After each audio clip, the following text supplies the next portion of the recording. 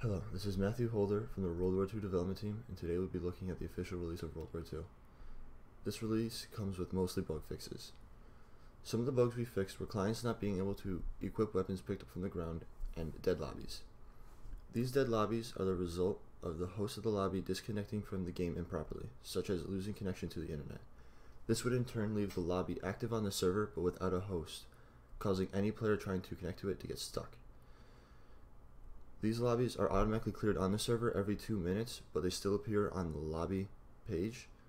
So, in order to counteract getting stuck in these lobbies, I added a 10 second connection limit so that if you were to get stuck, you have 10 seconds and then you can try to connect to a different lobby. Also, in this release, we added a feature of respawning if you venture too far outside the map.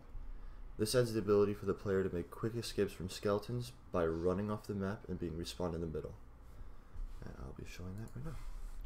So make a test lobby. Respawn. Run around. And so we added the ability, we got rid of these two walls so that you can run off if you get cornered. And when you run off, fades to white. And you're back. Spawning in a random location on the map. Um, that's it for this release. If there are any other bugs that you find, please report them to our Git repo, and we'll get to fixing them quickly. Thank you.